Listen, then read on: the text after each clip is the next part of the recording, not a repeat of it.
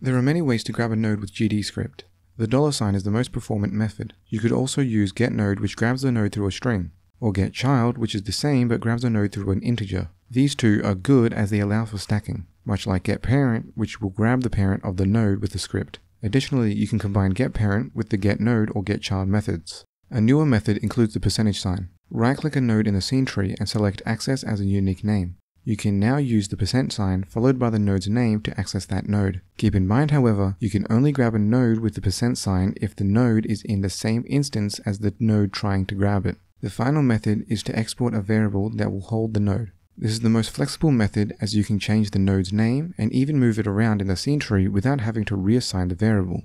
Additionally, some good practice is to use onReady variables as it makes the code look cleaner. And in case of changing a node's name or location within the scene tree, only one change needs to be made opposed to many. If you wish to find the path to a node, you can either use the find child or find parent, depending on if the node you are trying to find is higher or lower in the scene tree hierarchy.